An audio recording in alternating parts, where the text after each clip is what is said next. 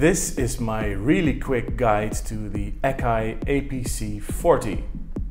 So if you've been watching some of my recent videos, you will have seen that I use the Akai APC 40 MIDI controller for live quite a lot. This is really a very useful tool that I've recently rediscovered after it sat on my shelf for a year or two. And in the comments of one of my videos, someone asked, hey, can you do a tutorial on this controller?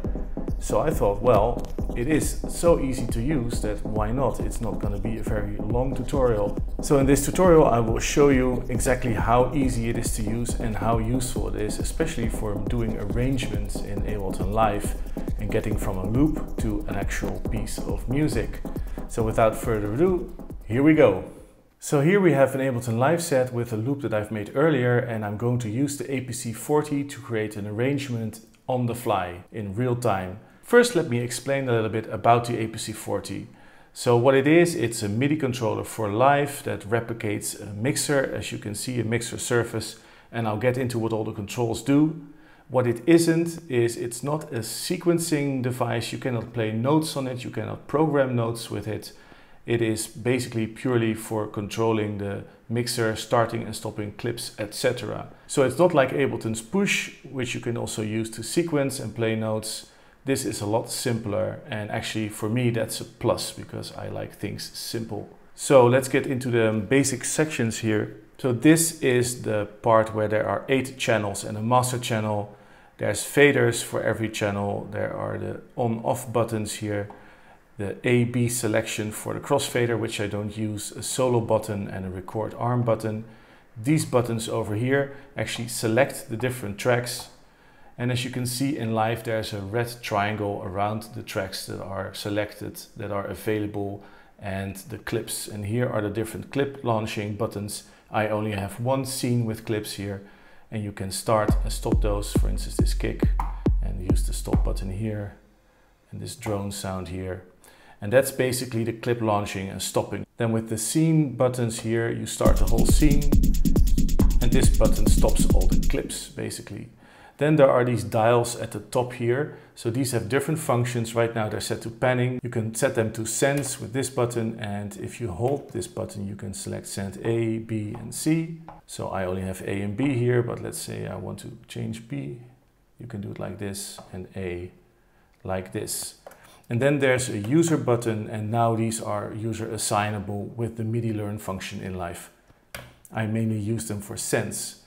Then at the top right here, there's the transport section with control, a record button for recording in the arrangement view and also a record button for recording in the session view. You can change the tempo, turn on the metronome or off, nudge the tempo forward or backward, which is useful in a DJ-like live setting. Adjust the tempo with this rotary dial here and then there's the device control section. So eight dials here for controlling devices in the device view. You can actually switch between clip view and device view with this button here. Very useful. And then there's device on and off and device select here. So if I push these, it steps through the different devices. I can select them and I can turn them on and off with this, which is really useful. And then there are these eight dials which control the first eight parameters of any device. And there's the bank select where you can step through more parameters. Finally, there's the crossfader here, which selects the A and B crossfade. Again, I really don't uh, use that. And then these bank select buttons, they allow you to step through the different um, clips and tracks.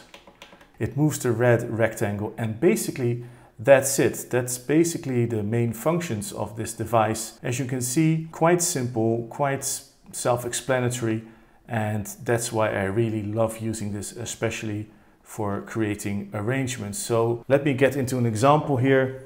I have a basic loop here going. I'll just turn on all the clips in the scene. And let's stop a few of these clips select the tracks with this and as you can see for instance on this track the filter is selected and I can control that and the resonance and so on and so forth. So what I will show you now is how I create an arrangement on the fly. Okay, let's switch to the arrange view. So I have an empty arrangement here. And what I'll do is I'll record a minute or two of live clip launching and automation just to show you how I use this controller. So basically going from a bunch of clips in the session view to a mini arrangement, an actual piece of music with a start and an end. So record, here we go, three, two, one.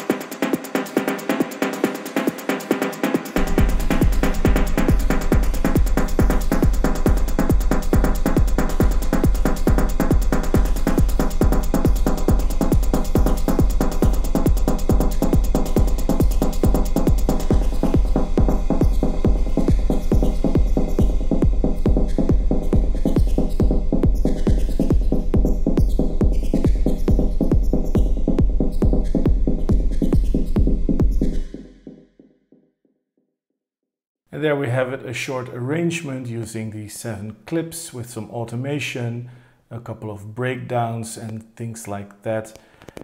And just a piece of music that I can listen back to later. And the great thing about this is that it actually took two minutes to create this two minute piece of music. So I can do this again for five or six minutes and then I'll actually have a five or six minute piece of music, a full length track and of course that doesn't have to be the end of it. You can always work on it more, add stuff, remove stuff, redo the automation, etc, etc. But you get the idea. I think this is a great way of working and I highly recommend you check it out. You can do similar things with the Novation Launchpad products and of course with Ableton's Push, although it is quite a bit more complicated and expensive. So anyway, that's it for this video. Thank you so much for watching. Please give it a like if you enjoyed it and consider subscribing if you want to see more of this kind of content. And let me know in the comments what you think about using a controller like this, about all the other stuff that I talked about. I would love to know what you think about this stuff and interact with you guys. So if you made it this far, thank you so much for watching and I will see you on the next one. Bye bye.